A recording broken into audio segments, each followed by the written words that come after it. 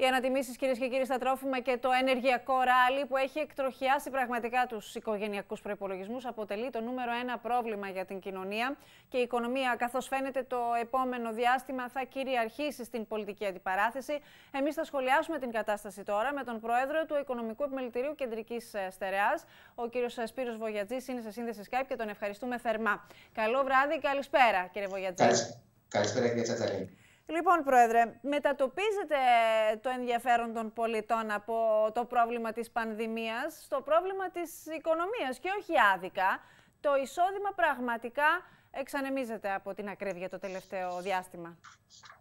Ε, έχετε απόλυτο δίκιο, έτσι είναι και πρέπει να πούμε ότι αυτά λειτουργούν εσωρευτικά. Δηλαδή, ο κόσμος ε, έχει υποφέρει από τρεις διαδοχικές κρίσεις. Ξεκινήσαμε από την κρίση χρέους από το 2009 που ουσιαστικά συνεχίζεται και σήμερα, δεν έχει ξεπεραστεί. Συνεχίσαμε με την πανδημία και πλέον έχουμε το πρόβλημα της κρίσης της ακρίβειας. Είναι τρεις κρίσεις διαδοχικές, τρεις κρίσεις που λειτουργούν εσωρευτικά και που επιδρούν πάρα πολύ έντονα στον κόσμο. Ε, πρέπει να πω ότι μόνο για τον τελευταίο χρόνο τα νούμερα είναι πάρα πολύ ενισχυτικά στους τρεις βασικούς δείκτες, δηλαδή στο δείκτη πληθωρισμού για τη στέγαση, στο δείκτη για τα τρόφιμα και στο δίκτυο για την κίνηση, όπου η αυξήση είναι της τάξης του 18%.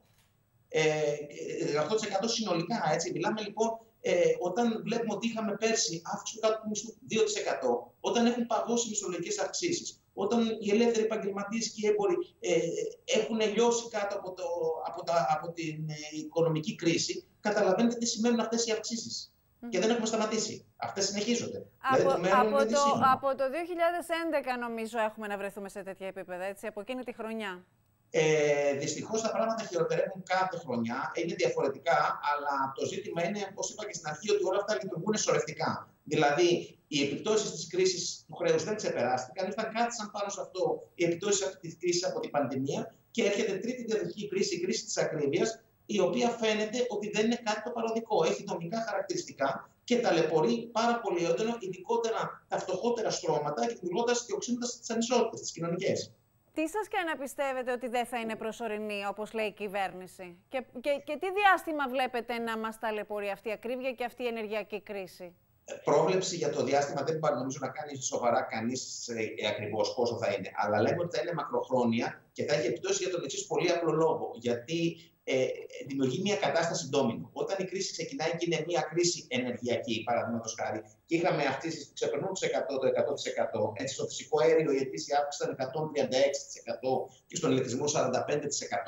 Ε, καταλαβαίνετε ότι όλο αυτό μετακυλίεται ουσιαστικά σαν κόστος και στην παραγωγή. Άρα αυτό σημαίνει μια αύξηση του κόστους παραγωγής, αυτό σημαίνει επιπλέον επιβάρυνση για τον καταναλωτή, σημαίνει μείωση της συνολικής κατανάλωσης από τη στιγμή που το διαθέσιμο εισόδημα είναι σταθερό ή και ευθύνη. Αυτό σημαίνει μεγαλύτερη ενεργεία, άρα περαιτέρω αύξηση ε, της κρίση και πάει λέγοντας. Έχουμε ένα φαινόμενο σπιράλ δηλαδή, το οποίο λειτουργεί ε, δημιουργώντας συνθήκες οι οποίες δεν είναι ευνοϊκέ. Και τα μέτρα που μελετάει η κυβέρνηση έχει ήδη ανακοινώσει μείωση στον έμφυα, έχει ήδη ανακοινώσει ο Πρωθυπουργός ε, μία αύξηση στον κατώτατο μισθό και ε, ε, έρχεται και δεύτερη μέσα στην Άνοιξη.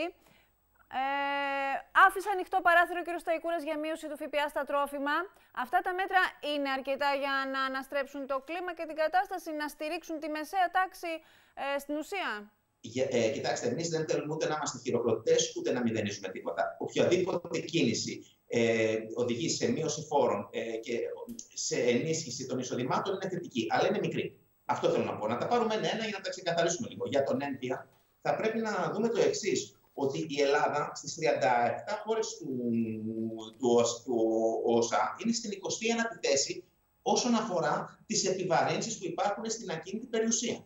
Υπάρχουν μειώσει στον έμφυα, μας έχει μιλήσει για 13% ο κύριος Πρωθυπουργός, αλλά δεν πρέπει να ξεχνάμε και τις πολύ μεγάλες ανατιμήσεις αντικειμενικές αξίες που ουσιαστικά θα ροκανίσουν εάν δεν εξαφανίσουν εντελώ αυτή την ε, μείωση. Και επίσης μην ξεχνάμε ότι οι μειώσει στον έμφυα αφορούν τις πολύ μεγάλες περιουσίες, εκτιμώ εγώ, έτσι, ε, και αυτό προκύπτει από το ότι καταργείται ο συμπληρωματικός φόρος. Άρα, αυτοί οι οποίοι είχαν πολύ ψηλό συμπληρωματικό φόρο ή έχοντας πολύ μεγάλη περιουσία, θα είναι αυτοί οι οποίοι θα εμπλεκούν περισσότερο. Κύριε Βογιατζή, λίγη ώρα πριν, ο κύριος Σταϊκούρας επέμεινε, παραχώρησε μια συνέντευξη που κάνοντας τον απολογισμό του έργου του, αναφέρθηκε με παραδείγματα πολύ συγκεκριμένα στο, στο θέμα του ΕΝΦΙΑ και είπε ότι οι πολίτες της Φθιώτιδα θα δουν σημαντική μείωση.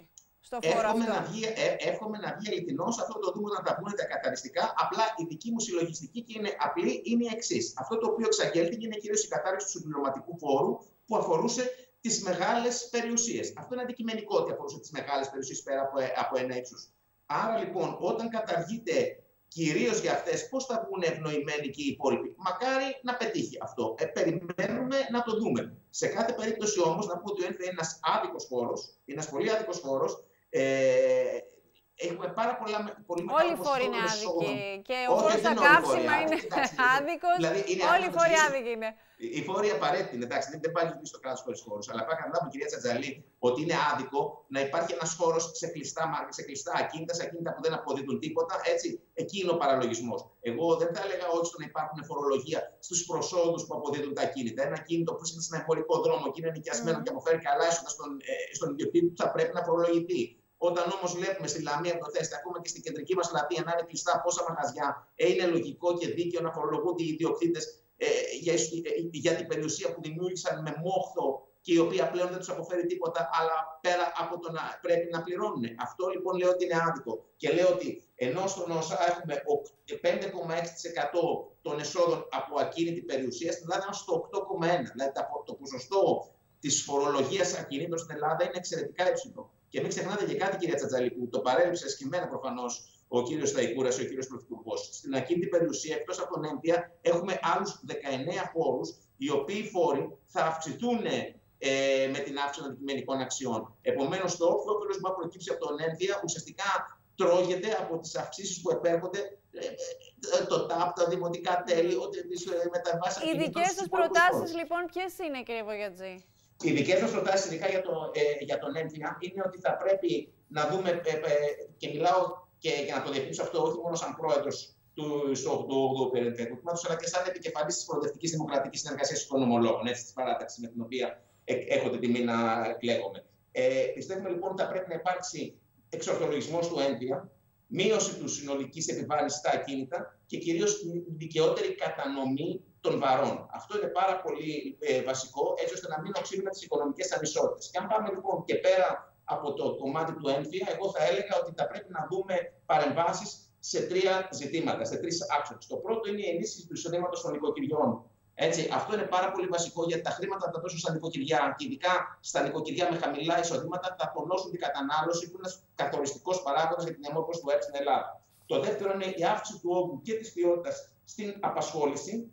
Ε, και το τρίτο είναι να υπάρξει ουσιαστικά μια προσπάθεια ε, κοινωνικής, ε, μείωση των κοινωνικών ανισοτήτων, γιατί αυτό αποτελεί προπόθεση για να έχουμε κοινωνική σταθερότητα και οικονομική σταθερότητα. Κοιτάξτε, αν δεν υπάρχει δικαιοσύνη στην κοινωνία, δεν πρόκειται να υπάρχει σταθερότητα. Και αν δεν υπάρχει σταθερότητα κοινωνική ή πολιτική, δεν μπορεί να υπάρχει και οικονομική ανάπτυξη. Αυτά είναι αλληλένδετα. Χρειάζεται λοιπόν να υπάρχει μια κοινωνική δικαιοσύνη. Εγώ δεν πιστεύω ότι θα εξαλειφθούν με τη μία κοινωνικές ανισότητες, αλλά δεν πρέπει τουλάχιστον να αυξάνονται. Πρέπει να γίνεται μια προσπάθεια περιορισμού τους, έτσι ώστε να μπορέσουμε να έχουμε όχι μόνο μια δίκαιη, αλλά και μια βιώσιμη ανάπτυξη και έναν διαμερισμό της ευημερίας σε όλους. Αυτό είναι πάρα πολύ βασικό και έρχομαι και σε αυτό που αναφέρατε για τον κατώτατο μισθό. Όταν έχουμε μια αύξηση 2% πέρσι του κατώτατου μισθού, και σας ξαναλέω, έχουμε 150% πόσο έχουμε στο φυσικό αέριο, πόσο έχουμε στο πετρέλαιο, πόσο έχουμε στο, ε, στην αμόλυβτη βενζίνη, θεωρώ ότι είναι απαράδεκτο το 2%. Πρέπει να υπάρξει μια γενναία αύξηση και να φτάσουμε κάποια στιγμή να είμαστε όπως όλα τα ανεπτυγμένα κράτη, να έχουμε τη δυνατότητα ο κατώτατος μισθός να καθορίζεται μέσα από συλλογικές διαπραγματεύσεις όπως γινόταν μέχρι το 2009. Δεν είναι δυνατόν σε πολιτισμένα κράτη ο κατώτατο μισθός να καθορίζεται με κυβερνητικές αποφάσεις. Είναι πέρα από άδικο, είναι και παράλογο και δείχνει ότι δεν έχουμε επανέλθει στην κανονικότητα όπως πολλοί ισχυρίζονται. Απέχουμε ακόμα και μακάρι να φτάσουμε. Εμείς, σαν οικονομικό επιμελητήριο και σαν προοδευτική δημοκρατική συνεργασία οικονομολόγων, θα συμβάλλουμε με κάθε τρόπο ε, ασκώντας επικοδομητική κριτική, ε, χωρίς να μηδενίσουμε καμία προσπάθεια που και να προέρχεται.